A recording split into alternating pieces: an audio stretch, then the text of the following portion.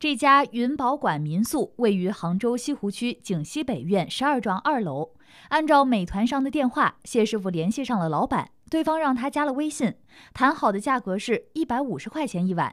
谢师傅提前支付了两天的房费，一共三百块钱。是可以烧饭的，所以我朋友他说自己一家人在这边嘛，烧饭嘛方便一点，所以到这里来那个。但是到这里面的话，卫生太脏了，卫生的。厨房上面厚厚的一层灰的，里面的洗手间里面洗澡也没办法洗的，太脏了。还说是花了钱在这里的话，我跟这个酒店里也好，就是哪怕就是快捷酒店这种的话，差远了。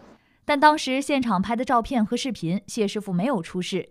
记者通过美团找到了云宝馆民宿的实拍照片，室内的装修有些老旧，桌椅也比较简陋。据谢师傅说，实际情况更差一些。谢师傅的朋友后来只住了一天就退房了，剩下一天的房费，谢师傅表示跟对方协商了，但对方不同意退。但后来的话，我到山东这个工商行政管理所去那个投诉他这里的话，才了解到这里是经济适用房。据我个人了解，经济适用房也不行，不行出租，也不行来做网约房这些那个。但是山东的他说他他没有这个营业执照，肯定是那个。不能做美团上网的这种网网约房这些，更不能是做民宿这些，他也没有挂牌子，所以说也没有营业执照。二零零九年八月，杭州发布了关于加大对经济适用房违规出租行为查处力度的通知，其中规定，对经济适用房出租等违规行为将没收出租违法所得并处罚款。记者找到景西北苑十二幢的这家云宝馆民宿，敲了敲门，里面没人。谢师傅说，房间的钥匙在三楼的一位阿姨手里。哎，阿姨，楼下你住在那边的话，是不是找你拿拿钥匙啊？啊，那个民宿，他那我们现在不跟他联系了。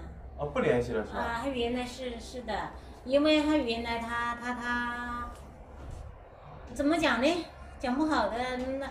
别人投诉到我们家来了，说我们做什么做什么，搞得我们不好，我们就跟他抱怨。现在等于说要找他本人，本人拿了是吧？嗯。我要提前看看那个环境怎么样呢？能不能提前看看呢？提前看你这个上上面有视频的吧？都都是实拍的，都是。你你在附近是吧？哎，我在附近。啊，在附近，在附近，我我过来要半个多小时。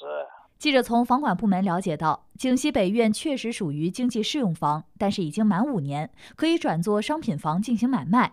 不过，具体到谢师傅投诉的这套房子有没有转为商品房，还需要进行核查。